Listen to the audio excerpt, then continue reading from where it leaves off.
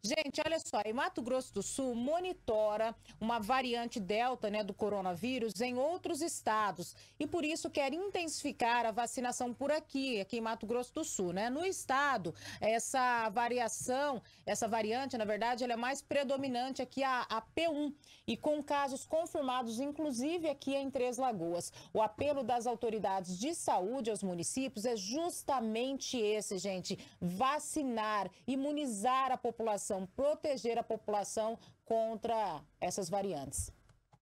Pesquisadores da Universidade Federal de Mato Grosso do Sul da Fundação Oswaldo Cruz e do Laboratório Central de Saúde Pública de Mato Grosso do Sul realizaram um mapeamento genômico do novo coronavírus em amostras de exames realizados em Três Lagoas e em outros 10 municípios. E nos estudos não identificaram nenhum caso da variante Delta. A pesquisa mostra que atualmente a linhagem da variante P1 prevalece em circulação em todo o estado.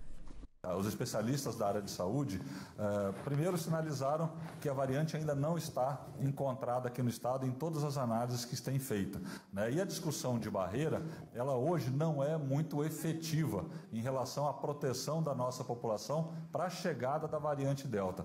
A variante Delta é mais transmissível do que as outras cepas do coronavírus. E segundo a Organização Mundial da Saúde, tem a possibilidade de gerar a reinfecção em quem já teve a doença da Covid-19 ou de possivelmente ainda escapar da cobertura vacinal.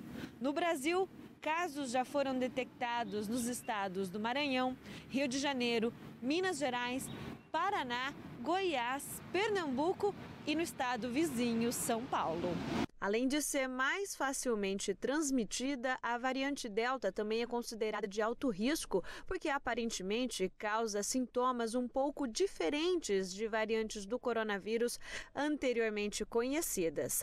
Infectados reclamam de dor de cabeça, nariz escorrendo e garganta dolorida. Febre também está entre os sintomas, mas a perda do olfato e do paladar, que são as mais típicas na doença, não são citadas. Isso significa que, para alguns jovens, a doença se manifesta como uma gripe mais forte e pode confundir o diagnóstico. A preocupação entre as autoridades de saúde é com a proximidade que Três Lagoas possui com municípios paulista. Por lá, casos da variante da Índia já foram confirmadas. Para conter a chegada em Mato Grosso do Sul, há apenas uma arma possível para ajudar.